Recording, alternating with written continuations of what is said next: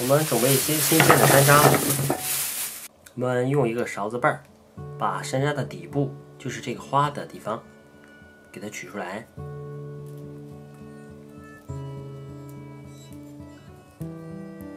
丢弃即可。这个山楂瓣儿呢，不要丢，一会儿我们有用。山楂全部处理干净以后，我们加入清水，给它淘洗干净。淘洗好以后，我给它捞出来，放到一个盆子中。洗干净的山楂倒入到锅里面，再加入清水，开火，把山楂在锅里面给它煮一下。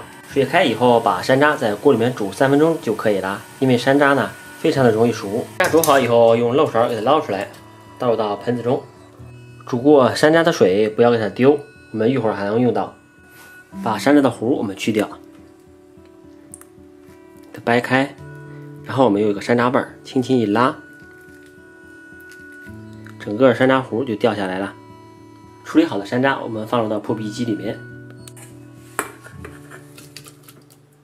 然后再加入些我们刚才煮山楂的水，蹬一下搅拌键，把山楂打成山楂泥。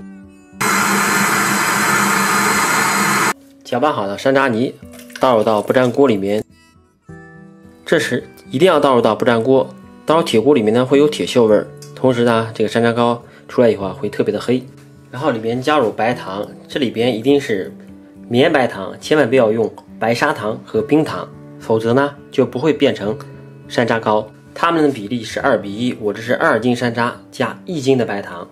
然后我们用铲子不停的给搅动，把山楂泥里边的水分呢，全部我要给它熬干。全程呢中火，不要大火，否则呢会糊。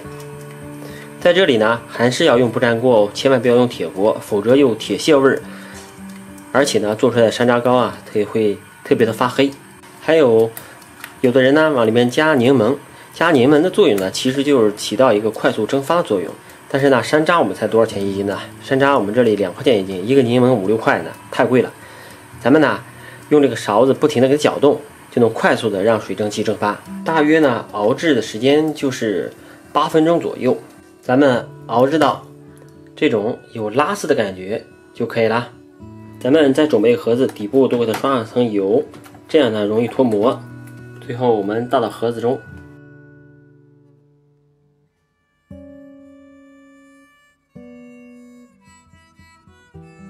最后，我们用勺子给它抹平，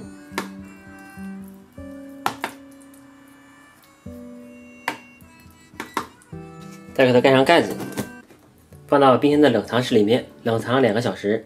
冷藏好以后，我们给它打开盖子，把我们的山楂糕给它倒出来，在切这个山楂糕的时候，刀上面给它蘸点水，这样呢不容易粘。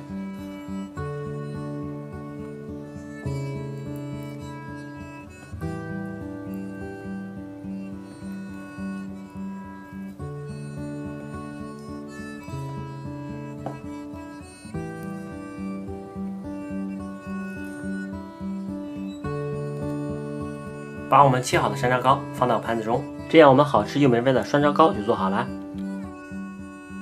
咱们在家做的山楂糕呢，没有任何的添加剂，而且做法非常的简单。